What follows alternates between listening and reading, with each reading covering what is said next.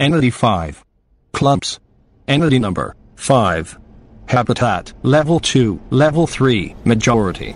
Description Clumps are a strange and bundle of limbs that are dangerous to interact with. They can be found in a majority of tight spaces and levels, as that's their preferred habitat. They are dangerous, but some may not attack for reasons which are unknown. The earliest you'll see a clump is typically in level 2 and level 3.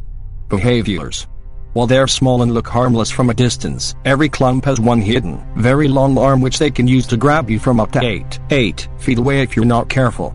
Once a clump has grabbed you, they'll reveal a set of sharp teeth and begin to pull you in to eat you. It is believed your own limbs and possibly fragments of your mind are absorbed into the clump.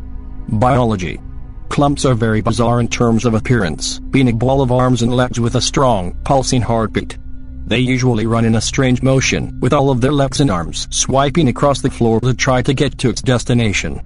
Once in motion, they can be very fast, and they can leap over obstacles in their way. They are in fact very intelligent, and can use their limbs to climb up surfaces that can be climbed, and they can travel in vents. One person claims to have seen eyes in the massive appendages. Discovery the first modern report of a clump was when these entities were found by an anonymous Reddit user after they encountered a skin stealer and successfully escaped and got attacked by a clump while typing their post. They have made a new post about how they survived shortly after. The group known as the Lost have mentioned clumps in their ancient text found in the backrooms. They reference them as the ones with many limbs. Does and don'ts. Do. At least stay away in the range over 8, 8 feet.